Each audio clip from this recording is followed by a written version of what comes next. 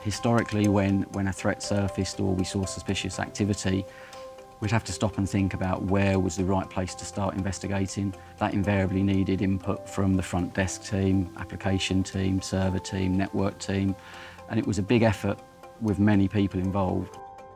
One of our biggest pain points is information overload. Business growth's great, but it means we have more operations to manage.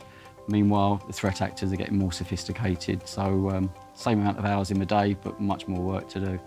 XSIAM's helping because it's, it's effectively letting us cut straight to the, the real serious incidents that we need to focus on and we're not wasting time on, on data that doesn't need our attention. For us, a modern SOC needs to be proactive, not reactive. XSIAM brings us a greater ability to enrich and automate on data. And now it brings us the visibility of that alert lifecycle from beginning to end. So we're not just ingesting data, but we're actually doing something with it. Before XSIAM, we were switching between multiple tools to view different stages of an alert. Now we're managing that alert from beginning to end within XSIAM. This saves us time and gives us more confidence in what we're doing. The XSIAM team are developing playbooks all the time, and they're creating those playbooks in a modular fashion. So rather than us having to edit those playbooks, we just turn features of them on and off. We're now far more efficient and we're making much greater intelligent use of the data um, and therefore getting more done in the same time.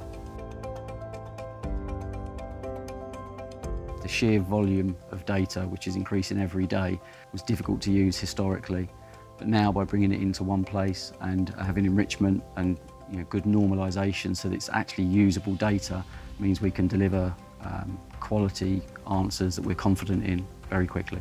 We're now getting visibility of what's happening in all of our offices in real time. And so when a user in Shanghai or in Bristol um, sets a proxy, we get an alert on that. So we've got so much more visibility and we can be proactive on those alerts.